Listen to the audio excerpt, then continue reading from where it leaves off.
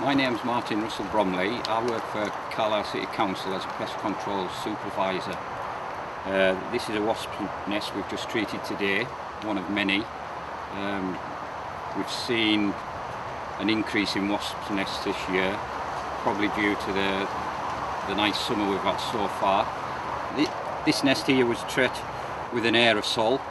Basically, I put my protective equipment on and I go towards the nest and I spray the aerosol into the entrance hole where all the wasps go in and out.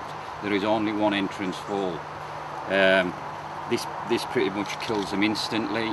Then I remove the nest. Any stragglers left behind, if I can kill them with an aerosol I do. Otherwise it's just a matter of time and they'll, they'll uh, just peter out over the course of time.